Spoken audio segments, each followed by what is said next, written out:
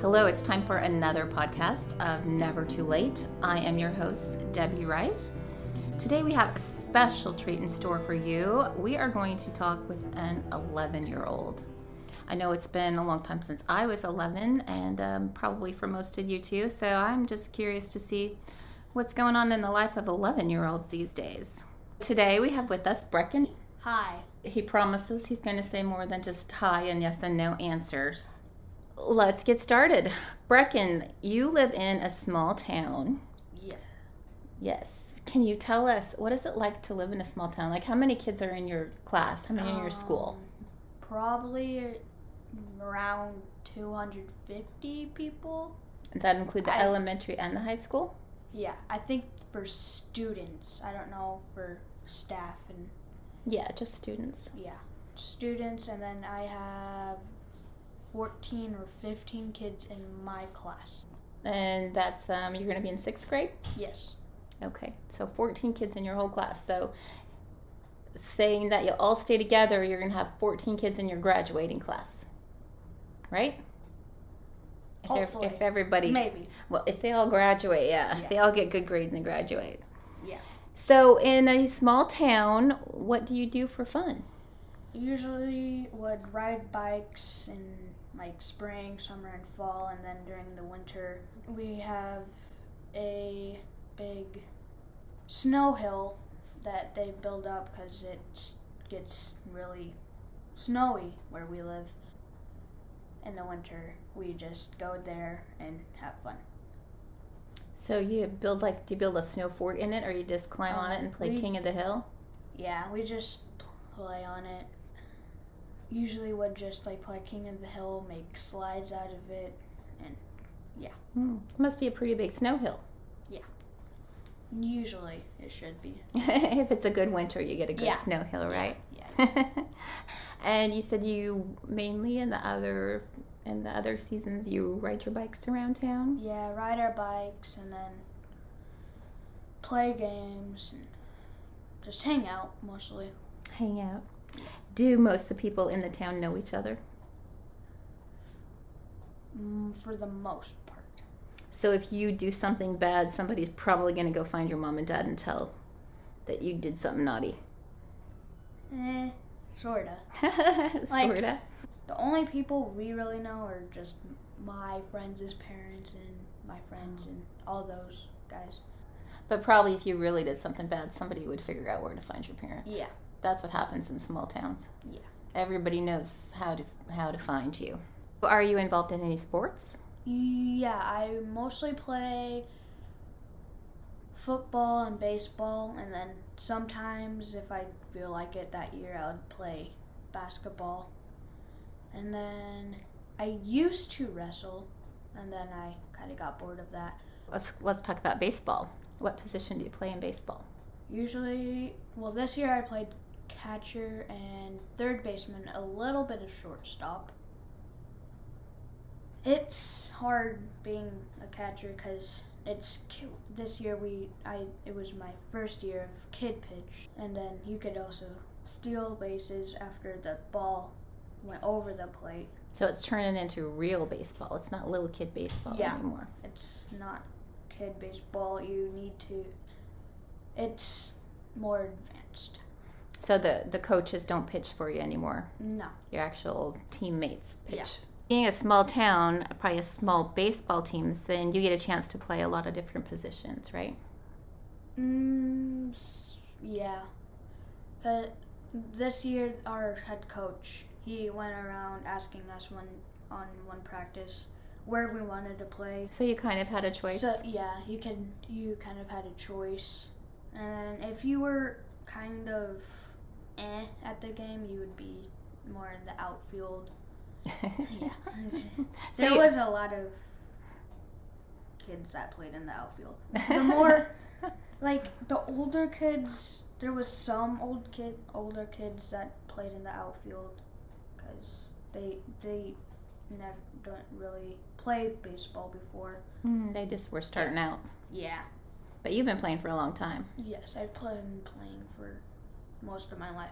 And your dad was a baseball player, so he taught you all that. And he was a catcher too, right? Yes. So he taught you all the all the ways to be a good catcher. Yeah. Yeah. And you have to be able to throw pretty good being the catcher, don't you? Yeah. I didn't play a lot of catcher because there was a An older kid, Oh, and okay. it was his last year, so Oh, okay. he played more. So how was your team this year? Did you have a pretty good team? Yes, we placed fourth or third in the championship stuff. Hmm, that's pretty good. Yeah, but there was a team. Well, there was a couple of teams that weren't really following the rules of stuff. Because Oh. well, during the actual season, not the uh, The playoff games? playoff games or or whatever you call it. Um, during the actual season, there was this team that was had uh, was following the rules, but they weren't really good. So during so when playoffs came up, they had this like seventh grader, maybe eighth grader Hmm. to their team, and it wasn't good. We the all the whole reason why we were kicked out of the playoffs was because of them, because they Because they beat you because they had a Yeah. seventh grader Yeah. or an eighth grader? So what we would have, so when we were, um, they were batting, we just had the catcher and just play catch while that for, so we, didn't risk him hitting a home run or getting getting RBI because he was pretty, Oh. he was a big but he was fast too. So So you didn't pitch any good pitches to him, you just no, threw it right to the. yeah. That makes sense.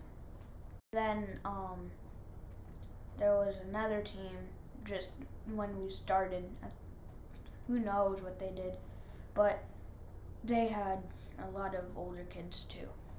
So who should be making sure that they follow the rules? Isn't there somebody that should say, Yeah. "Hey, you're cheating"?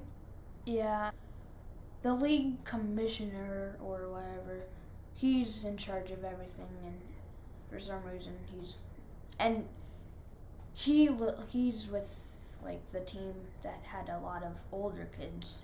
Oh, so the head guy was had the team that had the people cheating, so he didn't really care. Yeah. And he Oh. didn't do anything about older kids being there, and yeah, Wow, that's a little crazy. Yeah. We got we like a couple years before everybody was mad at him because I don't know, like rules or something, and So why does he get to stay being the commissioner? Because nobody else wants to do it, or I don't know. hmm, interesting. Yeah, So there's a. I know the podcast is called Never Too Late, but for you there, it's never too early to figure out life isn't fair, huh? yeah. what about football? How many? I being from a small town, you don't have a full roster of football players like Yeah. big school do schools do. So, So- how many? So for our high school, we kind of mix up two different schools, our town and another town that is doesn't have a lot of people who like to play football or something. Hmm. So we kind of mix it. how many on on your football though team? How many Um, do you have? Probably enough people for probably like 20-ish pe- people on our team. Most Okay. of us are from my town and then a couple from the other town. So you still don't have enough people to have full rosters on I- offense and defense. So you play both, right? Yeah. Well, I think that's what we're supposed to do, no matter what, if we have enough or not. So Mm. You get to play different positions. What did you? What positions did you play in football? I play wide receiver, running back for offense, and then for defense, I play linebacker, and hopefully this year a little bit of corner. If you're a wide receiver and a running back, you must run pretty fast. Cool. I'm almost as fast as the fastest kid in our class. Do you practice running? Um, not really. No. You just run. yeah, I just run when I run. But before you start playing and stuff, they warm you up, right? Yeah. So you don't You get do injured. these like if it's really cold out, you do a lot more, like a lot more warm ups, and then if it's iffy out, like if it's good playing conditions, you would just do regular warm ups. Yeah, because where you live, it can get pretty cold on some of those football games, huh? Yes, it can. it's not good. It's not that fun when it's that cold out. No. And what about wearing? You you wear all the pads and everything, like Yeah, when you wear all the pads, it gets harder to. When you wear more stuff on you, especially like if you're wearing the the pads, like the shoulder pads and stuff, it's hard to run because it's all that extra weight on you. probably a little harder to move too. Yeah. And you wrestled for a while, but you decided you didn't really like that. Yeah, I didn't really like it because I did that when I was like in first and second grade. I did that for two or three years, and then I was just not having it because, like, once I got, I was getting choked on. It wasn't like on purpose. I just couldn't breathe. Oh, 'Cause a I was in- scary, huh? Yeah, it I couldn't breathe because I was in just a weird position. Mm-hmm. So That that'd be pretty scary. I wouldn't want to do that either. it, and then after that, I was like, I'm not doing it. And then I knocked my tooth loose while wrestling, a tooth loose while wrestling too. So, uh, when let's just say when I was wrestling, I was getting beat up. well, that's not fun. If you don't enjoy it, there's no No. no point in doing it. Yeah. So yeah, there's another one. It's never too early to realize you don't have to do what you don't want to do. Yeah. And basketball, sometimes you play basketball. Yeah. And I th- believe this year I'm gonna play basketball, and I think I am a shooting guard or a small forward. I can't remember. One of those Yeah. two. Cool. What do you want to do when you grow up? Do you know what you want to do when you grow up Uh, for a job? no, I haven't. Re- I I've always wanted to work where my dad works, cause his job looks to me his job looks fun and stuff, and I like racing, especially dirt track racing, like sprint cars and modified and street stocks and all those. I I've also wanted to be that, and then recently I've been more into space, so I've kind of been wanting to be an astronaut too a little bit. That would be interesting. Yes. I think I think the racing though, the the dirt track racing, you probably can't make a living from that though. That's No. just for a fun hobby, That's right? like a secondary job. Yeah. Like say if you're doing part like it's kind of like a part-time job.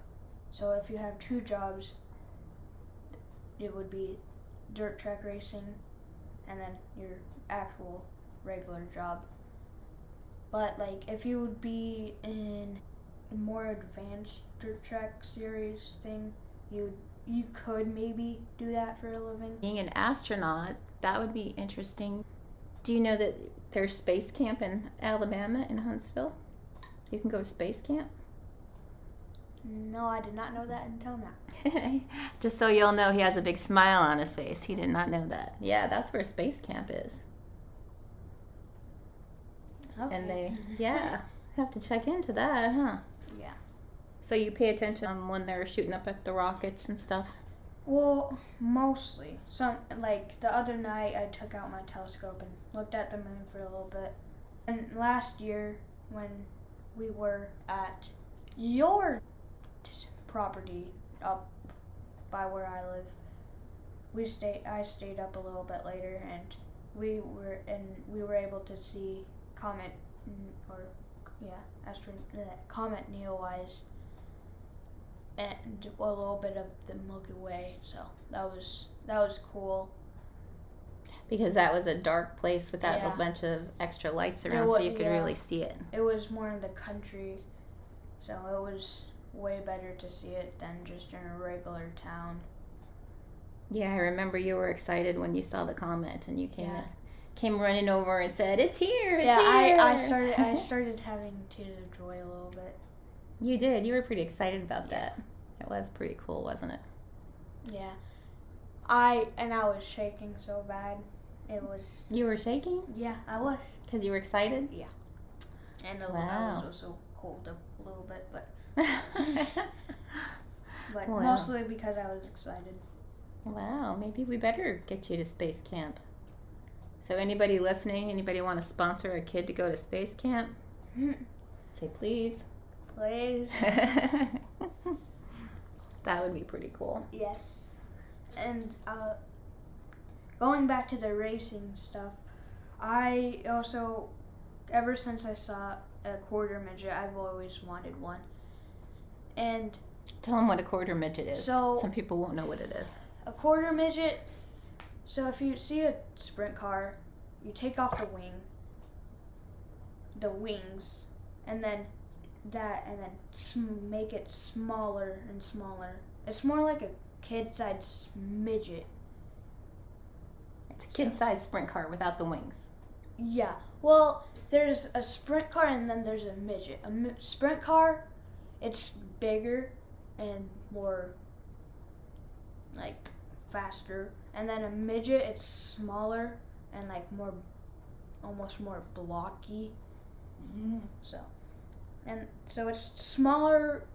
It's a quarter of a midget. What ages do the kids drive those? You, I think you can do it for till like you're probably like 15ish maybe around oh, there. Oh, okay. And then there's like these small like sprint car looking things. They're not mini sprints, they're smaller than that. And Hmm. yeah, the, there's that and then going and then there's a sprint car a driver sprint car driver and he's 15 16 and he's his car's fast so. But you have a favorite sprint car driver, Yes. don't you? yes i do You want to give him a shout out? You don't want to? No. He doesn't want to say your name. Sorry, I know what your name, but I'm not going to say it either. He doesn't want to. and did you did you remember? Oh, go ahead. because probably none of you know who he is Oh, well, somebody might, or they might look him up. There you go. okay his name is trevor kirkland and his number is 37 And he's out of helena montana Helena, Montana. Okay, there you go. Everybody can look him up. Back to sponsorship. Okay, anybody want to sponsor a kid in a quarter midget? I have a shirt with that too. Like on the so it's like on the back it has like a quarter midget and then a number and then it on the top it says want to sponsor me. So Do you wear it to the races? no, I wear ah. Merchandise of Ah. my of drivers like Trevor Kirkland's and then there's an, and a couple more um, and then there's also one that I got over Christmas and it and his name is Tanner Holmes and he is the number 18T. So if you don't wear this T-shirt though that says "Do you want to sponsor me?" How you get people? Gonna I- expect people to sponsor you? It's getting too small for me, so I can't I Oh. can't really wear it anymore because it gets. it's Oh, you need another one. Sure. okay. Is there anything else you want to talk about with racing then? You like to go watch the sprint cars every chance you get, right? Yes. About 30, 40 minutes away from our town is another is a bigger town. And we every once in a while we go there when there's sprint cars there we watch that and go to the pits and look at the sprint cars and all the other cars and yeah. And did you remember or did you know that your great grandpa used to drive a mini sprint car? Yes Oh, you knew that. Okay. Yes, because I can remember when we were cleaning his stuff out once he after he passed away. We I saw his mini sprint near in the big garage, and yeah. And you have his helmet, don't you? Yes, I do. And I have some pictures. As far as being 11, what do you want adults to know about being a kid who's 11 these days? Because, like, when I was 11, things were a lot different than they are now. Yeah. So, what's it like to be 11 these Uh, days? What should we know? For some reason, it's harder for us to go outside because we have the gaming stuff. Oh, so, you, And- so well, s- but like not in a lot in summer. But if it's like blasting like a hundred degrees, because when we're we're at it gets like it's dry there, so. But when it's like a hundred degrees more than that, it's too hot for me to go outside because we don't get that heat a lot because we usually are just in 80s and 90s and then in the winter we're mostly below below zero. yeah for a couple weeks So, you started saying you want them to know that it's not easy for you to go outside? Is that what Well- you said? like it's not hard but like it's for some reason we're just too busy on the gaming stuff especially if it's just I mean if it's okay out we'd go ride bikes and play for a little bit but it's just kind we're just always on the gaming stuff and Do you think that's good for you to always be on the gaming stuff, or should you go outside more? Well, mostly if it's like winter, I'd be on there a lot. But like summer, I'd be at the pool more and like riding bikes and hanging out with friends than playing. But like if it's night, I'd be playing. If it's like just early in the morning, I would be playing. And then during the actual day, I'd be out doing something mostly. What else do you want adults to know about being 11 these days? It's Is there anything that worries you? no. Nothing worries you? I mean, if there's like, sometimes I'd just be riding my bike and then there'd be this suspicious person walking around, and I'd be like, okay, and I'd just go away somewhere else. Did you ever have any problems in your town with suspicious people? No. No, you just didn't know who they were. Yeah, I did, and they'd just like look at me weird. and I'd just be like, okay, and just leave. Well, that's good. Do you think there's a lot of pressure on, more pressure on 11 year olds these days, maybe? Mm, in our town, it's not really hard to go outside and hang out with friends. Other, but like if you have friends that live in the country, then it's harder to go hang out with them because they live in the country, and our parents don't want to just drive us there and just for us to play and hang out. So Yeah, I know that. I used to be the kid that lived in the country. yeah. so we didn't get to hang out with our friends very much either. So I want to ask you what about COVID? Did COVID make you nervous? when it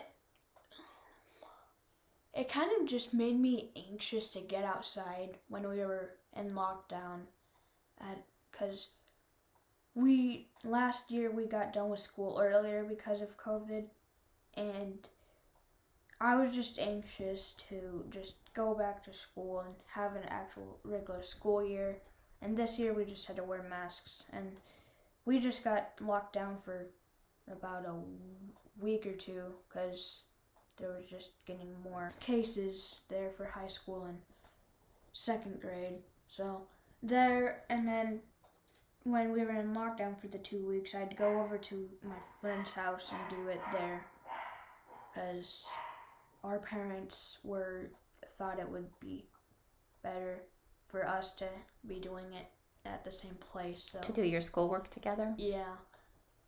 So we could just feel like we were more at school and Mm. so we could be more social and stuff. hmm And then we were in lockdown forever.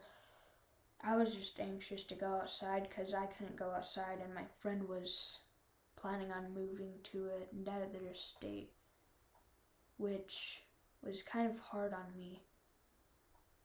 And then, so when he moved, I was just, I was, You didn't get to say goodbye. I did. It was just You didn't get to spend time with him. Hmm. Yep, that's hard. And then, yeah. And then after that, it was. After the first week he left, it was. I was getting back on track with my stuff. And then, yeah. Gonna make your Grammy cry. So mainly COVID for you, the only the only thing that really worried you about it was just because you weren't able to get out and see your friends and you didn't get to spend much time with your friend before he moved. Yeah. But we we had a we had a good friendship and yeah. It was hard for me when he moved. Yeah. But when we're, I'm doing something, I would just forget about it for a little bit. And then when I start talking about it, I just, Yeah, you remember how much fun you had together and what a good friend he was. yeah. Yeah. So, do you think maybe adults need to try and take kids' feelings more into account with all this COVID Well- stuff and locking everybody down? Well, if it's like lockdown because COVID and it's high cases, then I'd get it for you not be able to go outside. So, you're saying that you understand when adults say that you can't go do stuff because of COVID. So, adults are making all these decisions about COVID and they don't really take into account the things that the kids have to go to because kids like you are growing up well the past year or so of having to have worn masks and stuff like that do you think do you un, do kids understand why that is or do they think this is silly do you think it's normal now that you have to wear a mask Um, I think it. They're just getting. I think they're trying just now getting used to it, and now that we're kind of it's summer, you don't have to wear a mask anymore. But I think hopefully, I think this year we might need to wear a mask, but for the most part, I don't think we will. is it hard to wear a mask at school Um, you have you have asthma right Does yeah, I have asthma, but like I only get it during like recess. oh when you run too much Yeah, I just get it when I run too much. But I have the the pills for it, so is it hard to wear a mask during school no. But like near the end, my ears just like the back of my ears just start Oh, hurting yeah. and aching, and then yeah. So I try to keep my mask off as much as possible. whenever you can Yeah. So that's what that's why I mostly wear gaiters, Mm. or more comfortable mm-hmm. s- masks. Is there anything else that you want to add? What anything else you want to talk about that we didn't talk about yet? To get along with your mom and dad, okay? You haven't Yeah. turned into a teenager yet. no. Um, my my sister, she acts like a teenager though most of the time, and she's only s- seven. seven. I can't remember. Um, she's only seven, and she she's a She acts like a teenager. She's Yeah. a, she's a handful, is she? yes. Yes, something. And then so I just try and stay away from her as much as possible, just because she's annoying and sometimes so, I think that's pretty normal for brother and sister and yeah we siblings. we annoy each other. But I don't like sometimes I don't even do anything to her, and she's like, "Stop!" And I'm like, I'm not even doing anything. Anything else you want to talk about? Uh, What else do people need to know? Mm, it's never too early to do what you want. Very good. It's you you can do anything you want when you want to do it and make sure that your life is like how you want it to be. Very wise from an 11 year old. Yeah. Make your, yeah, just make your life, make your life count. Make your life just do what you want to do and when you want to do it. Very good. Thank you, Breckin, very much for chatting with me today. I hope that other people got a little insight to the minds of an 11 year old. I thought you did a very good job, an awesome job, and you were very well spoken. And I'm very proud of you. And I can say that because I'm your Grammy and I love you. All right, everybody, thanks for tuning in, and we will get back to you again next week. Remember, it's never too late, and for Breckin, it's never too early. Do what you want.